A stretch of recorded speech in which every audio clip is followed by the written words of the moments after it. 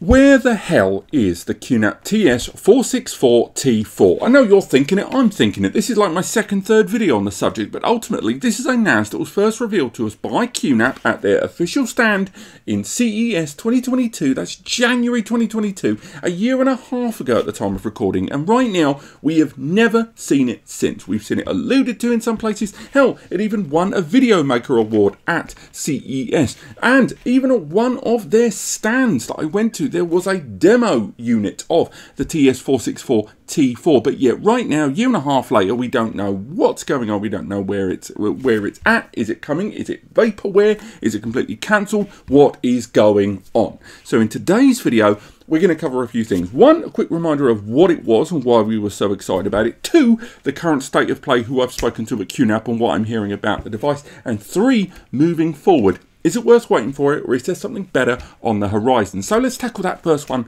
straight away. In case highly unlikely that you're watching this video and you didn't know about it, I do think it's important that we summarise what it was. Now, this isn't it. This is the TS464, released a little over a year ago from QNAP. Now, built on a similar architecture to this, the TS464T4 was a Thunderbolt 4 and 10 GBE version of this, the follow-up to the surprisingly popular TS453 BT3. It was their entry-level affordable Thunderbolt NAS solution and this promised to be the Thunderbolt 4 and USB 4 version of that. Running on an N5105 quad-core Celeron processor and 8GB of DDR4 memory, this device arrived with 10GB on board and a couple of Thunderbolt 4 ports. Now, alongside the four main SATA bays and a couple of M2 NVMe bays, this was always going to be a more modest entry. You were never going to be able to fully saturate the Thunderbolt 4 connection, not that you could anyway,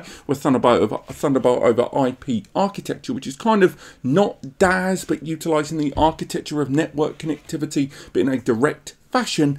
Still, nonetheless, it did allow users to maybe get hold of somewhere between 6, 700 to maybe 1000 megs per second in the right setup, and with a couple of direct Thunderbolt ports there on the front, along with its own network connectivity working either as a direct 10 GBE interface or the, the, device acting as a Thunderbolt to 10 GBE network bridge, um, it was a really intriguing device. So much so, in fact, I would argue that of all of the network attached de uh, devices that I've talked about in the last year, year and a half, very few reach the dizzying heights of general coverage across all of uh, the general tech platforms as that device because it covered a lot of niches. And much like the TS453 BT3 that came before it, I believe, way back in like 2017 18, this really scratched an itch in terms of hardware innovation in NAS and users that were maybe in content creation, maybe with larger, chunkier files that wanted to, you know, the advantage of Thunderbolt storage in a Mac or Windows system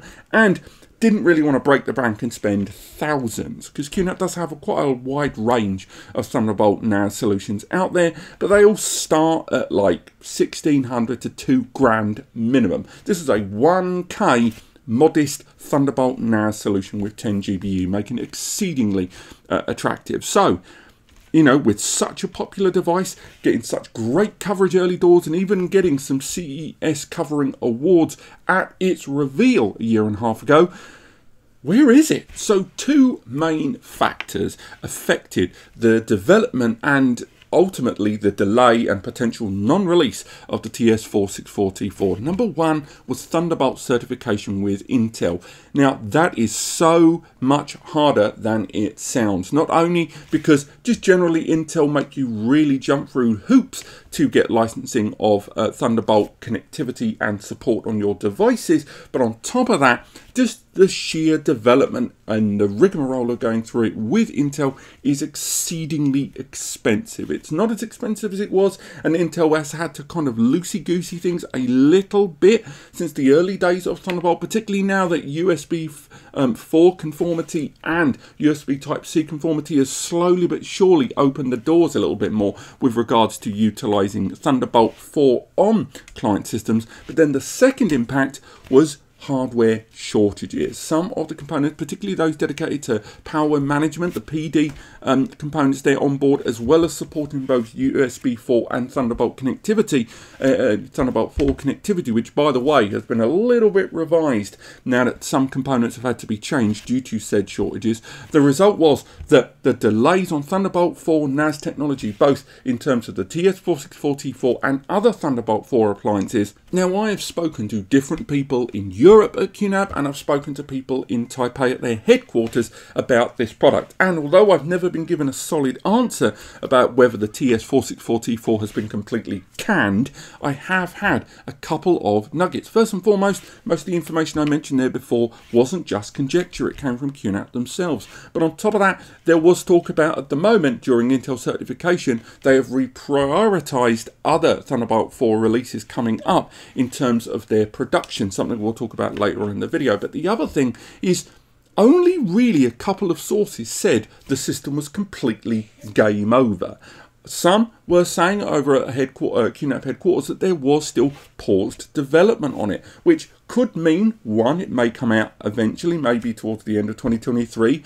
I doubt it, but, or you know, maybe it did come out in the comments, tell me I'm wrong but I think it's more likely that it will get rolled into the next refresh cycle of the 64. I think that's more likely. And as Thunderbolt 4 production has now started to get a little easier and the hardware shortages, at least within uh, the components that uh, Intel were prepared to sign off in Thunderbolt 4 um, architecture have eased up ever so slightly, I think it's more likely that the TS464T4 is now going to be revised into something else. It's going to arrive, but whatever the refresh cycle of this product range is, I think it's more likely, based on what I've been told, that a Thunderbolt 4 version of that is more likely, which again probably means a 2024 or even later release for such a product like that. What about the subject of Thunderbolt 4 te um, NAS technology as it stands? Well, for those of you that follow the channel, over at Computex in Taipei at the end of May and early June, um, and at their own partner event, QNAP revealed two new Thunderbolt 4 releases, which they were more than prepared to commit that were going to be released towards the end of Q3 2023, which for them is between July and September. My money's on September going into October, but sure. Um, now, these two Thunderbolt 4 releases are quite big. They're quite businessy, they're quite high end. If you're a content creator, you're probably going to enjoy this, and unfortunately, they are not going to be comparable to that TS464T4. They're great sounding solutions. One in particular is particularly bleeding edge, but I think both of these are the reason, oh, or at least the third reason, why the TS464T4 has kind of lost traction. And I think a big part of that is because these other two releases are probably going to be just better marketed overall and the end uh, the end user that Thunderbolt 4 NAS is targeted towards again those content creators out there they're going to be more in sync when it comes to allocating their budgets long term to something a bit beefier. But maybe you disagree. Let me know in the comments. But these two solutions come down to a Thunderbolt 4 version of the 7.4 series and a brand new um, flash optimized device. So let's tackle that first one there. The QNAP TVS H874T4 and H674T4. Built on the existing 7.4 series, these arrive with either an Intel i7 or Intel i9 architecture. So again, we are talking a 12 or 16 core Intel 12th gen processor there, which you're going to need for that Thunderbolt 4 connectivity. Now, two Thunderbolt 4 ports on board, although there isn't any 10GBE. Now that a QNAP says to keep it within a similar price point to previous generation um, uh, um, uh, Intel Core Thunderbolt 4 uh, Thunderbolt systems there. So we're talking about the 874 XT and the 674 XT refresh there, arriving with 2.5 GBE but this time not with 10G. You can add it pretty conveniently, but it means you're going to have to spend a little bit extra, a fraction, 100, 200 nika, to take advantage of the overall uh, benefits of like that 10 GB to Thunderbolt uh, 4 network um, connection through the device using it as an adapter there. But there is uh, 2.5 GBE and there's a couple of PCIe upgrade slots, but one of them is occupied by the Thunderbolt 4 connectivity there, the USB Type-C ports. But there is a uh, PCIe Gen 4 times 16 slot there. So on the one hand, lovely stuff. You can use a bunch of those QM2 cards from QNAP to add Gen 4 SSDs. At 10 GBE, at 25 GBE, lovely stuff. But unfortunately, that means if you were going to upgrade your network connectivity, you don't really want to waste a Gen 4 x 16 slot. So in 32 uh, to 32,000 megabytes per second of bandwidth there, you're going to waste that on a 10G port, or at least not a single port card. So bear that in mind that there is upgradability in network connectivity here, but you can't, you know, you've only got one to play with unless you're going to junker the Thunderbolt 4 port, which seems, you know, idiotic in this context. Arriving with 20, 32 to 64 gig of memory. This system also has Gen 4 SSD slots on board natively. So overall, this 6 and 8 base system is a much, much beefier Thunderbolt 4 solution overall. And again, supporting QUTS with ZFS or QTS if you choose. These are the inevitable follow-up to the 872 XT and 672 XT series. Very impressive NAS devices that I think will arrive, but a different kind of beast to that 464T4 that we've been waiting on. The other Thunderbolt 4 solution from QNAP, once again, they are targeting a Q3 2023 release schedule, is the TBS 574TX. Now, this is a 5-bay ES1, um, an E1S architecture system. Now these are little slots that occupy standard M2 NVMEs. Now, eh, for those that aren't aware, M2 NVMEs, little tiny SSDs like this, this allows you to use bigger, beefier ES1 drives. Or um, you can go out uh, E1S drives. Or if you choose, they can just accept normal M2 NVMEs in each one of those slots. They're hot swappable, they allow larger capacity potential and better heat dissipation in those individual bays, something that M2s either have optionally or just don't support at all, aka hot swapping there.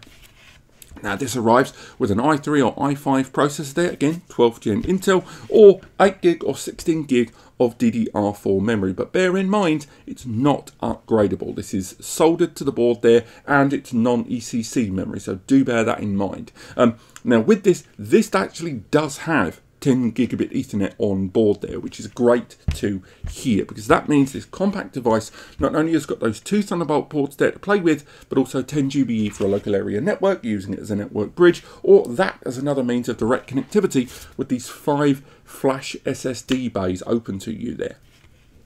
Now, performance on this was one of the few NASs in the Thunderbolt area that QNAP very early doors showed us some performance numbers. They were able to achieve in excess of 1500 megabytes per second, both read and write, and that was using uh, a Mac uh, from 2020, and that was Mac OS 12.3.1. So again, not full Thunderbolt 4 connectivity, but this is still just a 5-bay system albeit SSD based. But what do these two systems mean ultimately for the TS464T4? Well, just as I stated, I think more than likely that system is not coming. I think the TS464T4 is and is just game over, not happening. Now, is it not going to come at all?